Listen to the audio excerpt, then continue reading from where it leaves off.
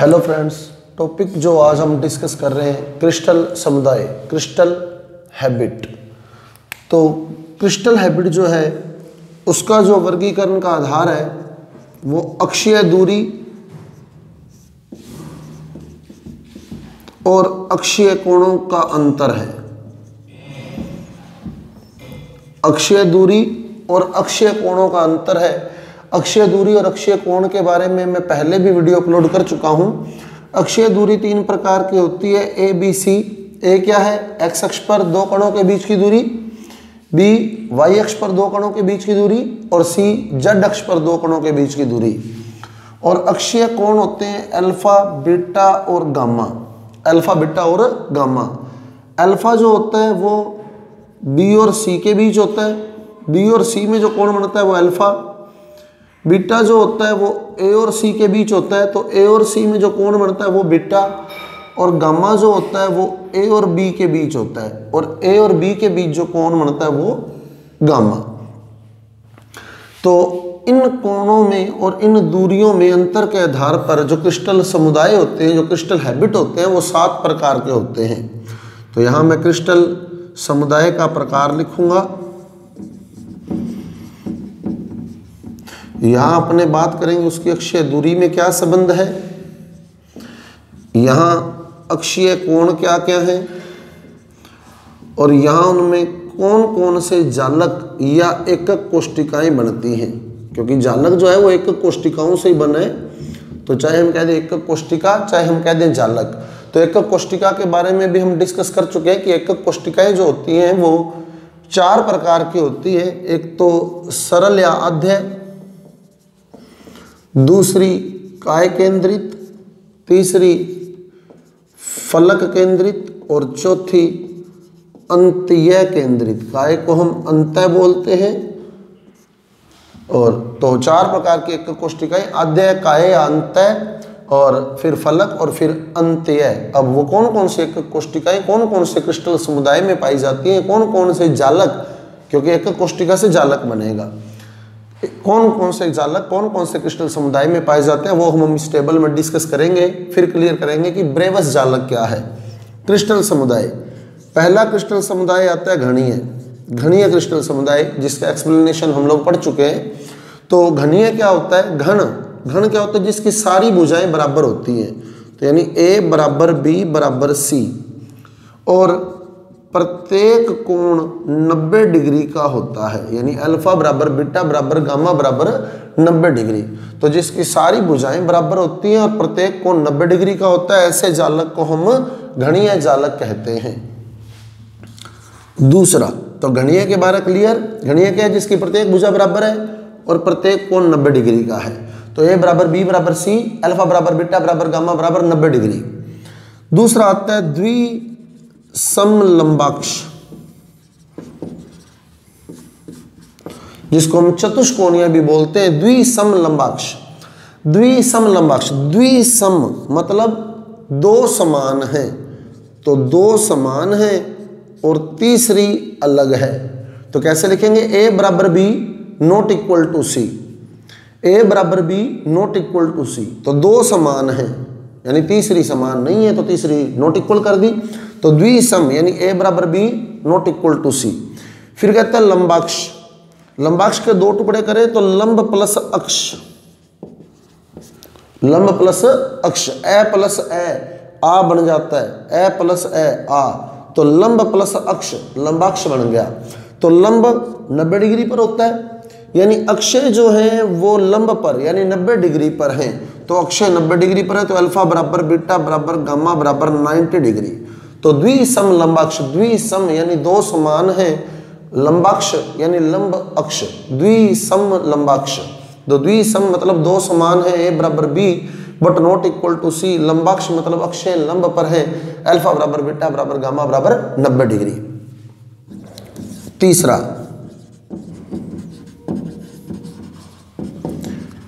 विषम लंबाक्ष। विषम मतलब कोई भी समान नहीं है।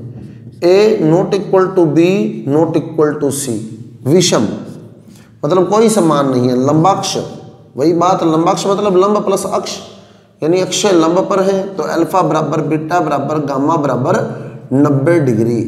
तो घनीय क्या होगा? फिर क्लियर कर ले एक बार, घन घन जिसकी सारी भुजाएँ समान है, यानी ए बराबर बी बराबर सी और प्रत्येक कोण 90 डिग्री का है। तो अल्फ़ा बीटा गामा 90 डिग्री।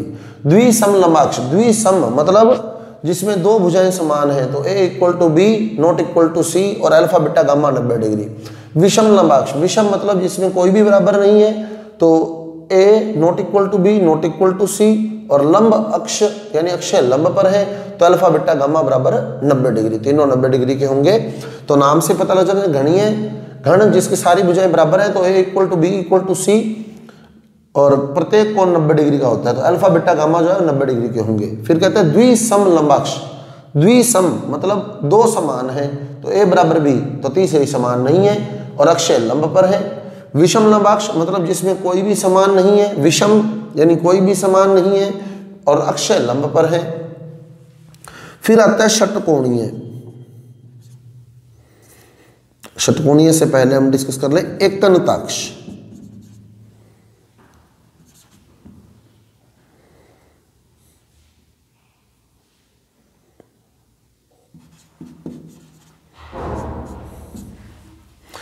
एकनताक्ष, यानी एक नत अक्ष।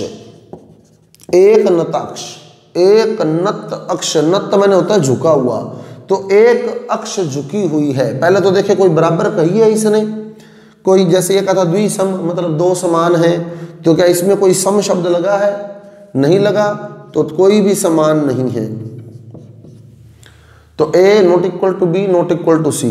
और एक नत अक्ष, यानी एक अक्ष झुकी हुई है। जब झुकी हुई है तो वो नब्बे की नहीं रहेगी, झुक जाएगी तो नब्बे से कम हो जाएगी। तो एक नत अक्ष, यानी एक अक्ष झुकी हुई है। झुकी हुई है तो वो नब्बे नहीं है। तो यानी दो ही अक्ष नब्बे की हैं। तो अल्फ़ा और गामा नब्बे होते हैं और बिट्टा नोट इक्वल टू नब्बे। बिट्टा जो है वो नोट इक्वल टू नाइनटी, यानी बीटा झुक गया।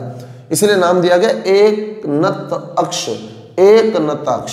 एक नत अक्ष यानी एक अक्ष झुका हुआ है तो सम कोई वर्ड आया नहीं इसमें तो सारे अलग अलग रखने हैं, और एक अक्ष झुक गया है तो बीच वाला अक्ष झुका देना है।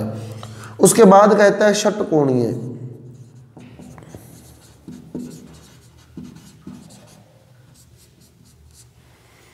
षटकोणीय तो षटकोण क्या होता है, देखिए अपने। षटकोण का मॉडल आपको दिखा रहा हूँ मैं। ये षटकोण है मेरे पास, देख सकते हैं आप। ये छह बुझाएँ आपको दिख रही हैं इस वीडियो के अंदर कि छह बुझाएँ क्लियर और ये जो ब्लैक कलर की है वो तीसरी भुजा है।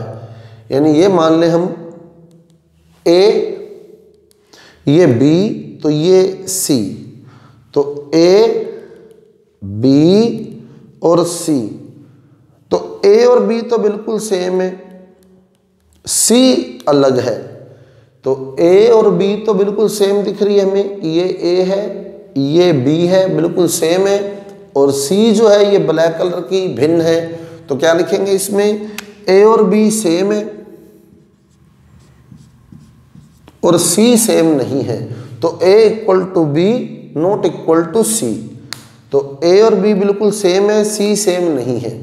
तो A equal to B not equal to C अब आप देखें ये सी है, ये ए है तो ए और सी में कितने डिग्री का कोण है? ए और सी में 90 डिग्री का। तो ए और सी में जो कोण होता है, वो बीटा होता है। तो बीटा जो है, वो 90 डिग्री है। ए और सी में जो कोण बनेगा, वो बीटा बनेगा तो बीटा 90 डिग्री का हो गया। फिर ये बी है, ये सी है, ये बी ये सी तो बी और सी में जो कोण है, वो भी कितने डिग्री का है? 90 डिग्री का। यानी अल्फ़ा भी 90 डिग्री का है। क्लियर तो A equal to B not equal to C A और बी ए और सी के बीच का कौन 90 बी और सी के बीच का कौन भी 90 तो ए और सी में बिट्टा बी और सी में अल्फ़ा तो अल्फ़ा और बिट्टा 90 डिग्री के हैं. तो alpha equal to beta equal to 90 alpha और बिट्टा 90 डिग्री के हैं. और गामा जो होगा वो ए और बी के बीच होगा. तो ये ए ये बी तो अब आप देखें ये षटकोण बन रहा है? और षटकोण के छह कोणों का योग, ये A B A B A B तो ये कोण गामा है सारे। ये सारे कोण गामा है जो आपको दिख रहे हैं। ये कोण बीटा हो गया, ये कोण अल्फ़ा हो गया। तो अल्फ़ा और बीटा तो 90 के हैं। अब गामा निकालना है तो षटकोण के छह कोणों का योग 720 होता है। षटकोण के छह कोणों का योग 720 होता है। तो एक कोण जो होगा, वो 120 डिग्री का होगा।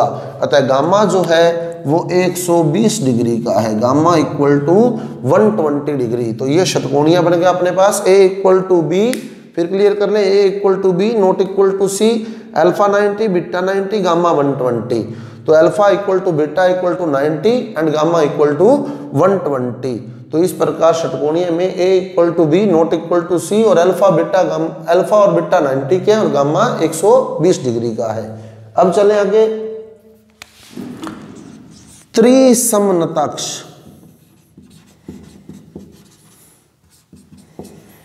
त्रिसमनताक्ष तो क्या कह रहे हैं? त्रिसम। त्रिसम तो A equal to B equal to C त्रिसम। अब है तो सम, है नताक्ष। नताक्ष मतलब नतक्ष सम तो है, पर नत है। तो सम तो है तो alpha equal to beta equal to gamma पर नत है नत है तो मतलब 90 डिग्री के नहीं है।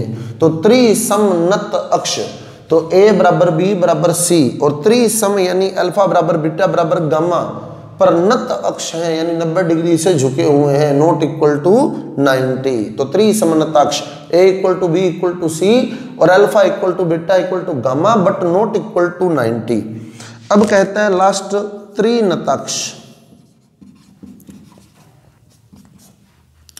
त्रिनताक्ष। अब त्रिनताक्ष में सम नहीं आया है तो समान रखना भी नहीं है, यानी A not equal to B not equal to C सम नहीं है।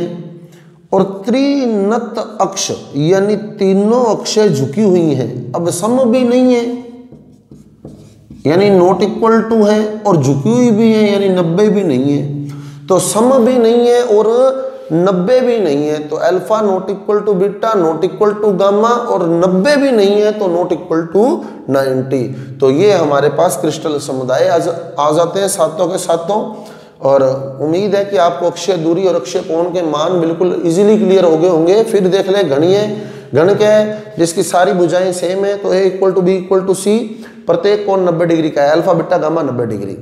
अब कहता है द्विसम लंबाक्ष द्विसम दो समान है तो A equal to B not equal to C लंबाक्ष, यानी अक्षय लंब पर है, यानी 90 डिग्री पर है तो अल्फ़ा बीटा गामा 90 डिग्री पर है। फिर कहता है विषम, लंबाक्ष, विषम मतलब सेम नहीं है तो विषम मतलब अलग अलग है तो A not equal to B not equal to C लंबाक्ष मतलब अक्षय लंब पर है तो अक्षय जो है वो 90 डिग्री पर है तो अल्फ़ा बीटा गामा 90 पर है। फिर कहता है एक नताक्ष यानी एक नत अक्ष है, अर्थात एक अक्ष झुका हुआ है तो सम इसमें कहा नहीं तो जब सम नहीं कहा तो हमने सम करना भी नहीं। तो A not equal to B not equal to C अलग अलग कर दिए तीनों। अब एक अक्ष झुकानी भी है तो वो बीटा झुकाई है बीच वाली। तो अल्फ़ा गामा 90 डिग्री के है और बीटा 90 डिग्री का नहीं है तो यानी बीटा झुका हुआ है। इसीलिए इसका नाम एक नताक्ष रखा गया है। फिर कहते हैं षटकोणीय तो षटकोणीय का मॉडल मैं आपको दिखा चुका हूँ। माइंड में रखना है A equal to B but not equal to C A equal to B but not equal to C alpha beta 90 के थे और गामा 120 का। अल्फ़ा बिट्टा 90 गामा 120 क्लियर उसके बाद त्रिसम नताक्ष त्रिसम मतलब तीन सेम है। तो तीन सेम है तो तीन सेम कर दो। त्रिसम तीन समान है। तो ए बराबर बी बराबर सी अल्फ़ा बराबर बिट्टा बराबर गामा और नताक्ष नताक्ष मतलब नत अक्ष, यानी झुकी हुई है। तो है तो सेम पर झुकी हुई है, यानी नब्बे नहीं है, चाहे वो बहत्तर बहत्तर हो। चाहे वो 80 डिग्री 80 डिग्री 80 डिग्री हो, चाहे वो पिचासी डिग्री पिचासी डिग्री पिचासी डिग्री हो, पर वो झुकी हुई होंगी। क्लियर होंगी सेम पर झुकी हुई होंगी। तो त्रिसम नत अक्ष। तो ए बराबर बी बराबर सी एल्फा बराबर बीटा बराबर gamma but not equal to 90 फिर त्रिनताक्ष त्रिनताक्ष तो सम नहीं है। तो सम नहीं है तो समान रखनी भी नहीं है A not equal to B not equal to C और तीनों झुकी हुई भी है, यानी नब्बे भी नहीं है, समान भी नहीं है और नब्बे भी नहीं है। तो alpha not equal to beta not equal to gamma not equal to ninety तो इस प्रकार हम अक्षय दूरी और अक्षय कोण के आधार पर सात प्रकार के क्रिस्टल समुदाय बनाते हैं, और इन सात प्रकार के क्रिस्टल समुदायों में कौन कौन से त्रिविम जालक या एक कोष्टिकाएँ पाई जाती हैं वो देखें।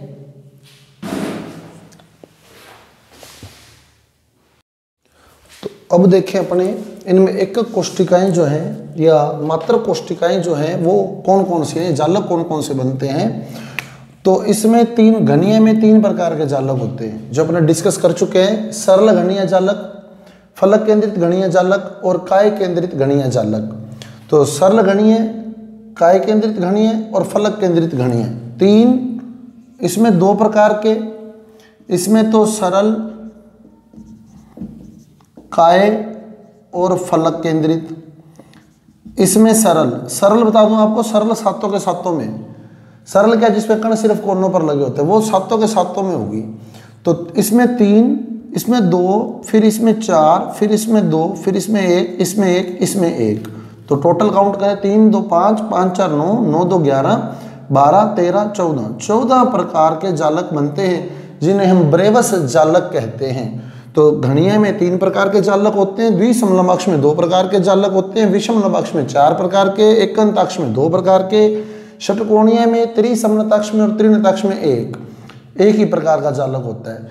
अब सरल तो सारों में ही है। सरल सरल सरल सर, इसमें तो चारों ही होंगे चारों ये वाले। सरल भी काय भी फलक भी और अंत्य भी। तो इसको तो विषम लंबाक्ष को तो देखने की ज़रूरत ही नहीं है। चारों के चारों होंगे। अब इंपॉर्टेंट क्वेश्चन बनता है अगर पूछा जाए तो बहुत कम स्टूडेंट होंगे जो करके आएँगे कि कौन से क्रिस्टल समुदाय में सभी प्रकार के त्रिविम जालक पाए जाते हैं? तो विषम लंबाक्ष क्रिस्टल समुदाय में सभी प्रकार के त्रिविम जालक बनते हैं, चाहे वो सरल हो, चाहे वो काय केंद्रित हो, चाहे वो फलक केंद्रित हो, और चाहे वो अंत्य केंद्रित हो। तो इसमें दो, इसमें एक एक। एक तो एक एक वाला भी सरल सरल सरल ही है। अब बता दूँ आपको, मैं बुक में यहाँ सरल घनिया लिखा हुआ है। वो घनीय नहीं आएगा सरल घनीय ये है। ये आएगा सरल षटकोणीय, ये आएगा सरल त्रिसमनताक्ष, ये आएगा सरल त्रिनताक्ष। वो इसके नाम से आएगा। ये सरल घनीय ये सरल षटकोणीय, क्योंकि घनीय वर्ड लग गया तो फिर ये तो कंडीशन ही खत्म हो गई। क्योंकि घनीय में तो ये स्थिति होती है। वो यहाँ से सरल घनीय कॉपी पेस्ट हुआ हुआ है, सीधा सरल घनीय ये सरल घनीय ये सरल द्विसमनताक्ष बोला जाएगा। ये सरल विषम लंबाक्ष बोला जाएगा। ये सरल एकण तक्ष बोला जाएगा। ये सरल षटकोणीय बोला जाएगा। ये सरल त्रिसमनताक्ष बोला जाएगा और ये सरल त्रिनताक्ष बोला जाएगा। तो सरल जालक, सरल गणीय सरल जालक जो है, सरल एक कोष्टिकाएँ जो हैं, वो सात प्रकार की होती हैं। सरल गणीय, सरल द्विसम लंबाक्ष, सरल विषम लंबाक्ष, सरल एकंताक्ष सरल षटकोणीय सरल त्रिसमनताक्ष और सरल त्रिनताक्ष। इसमें चारों ही हैं, फिर क्लियर कर लें। घड़ियाँ अपने वर्णन कर चुके हैं। घड़ियाँ में तीन होती हैं। एक एक एक वाली सरल ही होगी बची ये दो याद रखने वाली। तो इसमें तो है सरल और काय, और इसमें है सरल और अंत्य। सरल और अंत्य। तो एक ताक्ष में तो सरल और अंत्य आ जाएगा। और द्विसमलंबाक्ष जिसे हम चतुष्फलकीय भी कहते हैं, सरल और काय केंद्रित आएँगी उसके अंदर। क्लियर तो इस प्रकार के चौदह त्रिविम जालक बनते हैं। तीन, दो, चार, दो, एक एक एक। तीन किस्में घड़िया में। फिर दो किस्में द्विसमलंबाक्ष में। कौन कौन से? सरल और काय। फिर विषम लंबाक्ष में चारों ही हैं। सरल, काय, फलक और अंत्य फिर आया अपने पास एक कणताक्ष तो इसमें दो हैं। एक सरल और एक अंत्य है। फिर तीनों में एक एक एक है। सरल सरल सरल ही होगा। क्लियर तो सरल सात प्रकार की हैं। सरल कितने प्रकार की हैं? सात प्रकार की। काय कितने प्रकार की हैं? काय गिनने आप? एक, दो, तीन। एक इसमें एक इसमें एक इसमें होगी। तो काय तीन प्रकार की हैं? फिर फलक कितने प्रकार की हैं? फलक दो प्रकार की हैं। एक इसमें और एक विषम लंबाक्ष में। फलक दो प्रकार की हैं और अंत्यय भी दो प्रकार की हैं। एक विषम लंबाक्ष में और एक एक नताक्ष में। तो अब आप देख ले, सात तीन दस, दो बारह और दो, चौदह। तो वर्गीकरण ये है कि सरल कितने प्रकार की हैं? सात प्रकार की, काय कितने प्रकार की हैं? तीन प्रकार की, फलक कितने प्रकार की हैं? दो प्रकार की और अंत्य कितने प्रकार की हैं? दो प्रकार की। क्लियर तो इस प्रकार सात त्रिविम जालक सात सरल त्रिविम जालक बनते हैं। तीन काय केंद्रित त्रिविम जालक बनते हैं। दो फलक केंद्रित त्रिविम जालक बनते हैं और दो अंत्य केंद्रित त्रिविम जालक बनते हैं। तो चौदह प्रकार के त्रिविम जालक बनते हैं, जिन्हें हम ब्रेवस जालक कहते हैं। क्लियर तो ये क्रिस्टल समुदाय का सिस्टम है हमारे पास। Thank you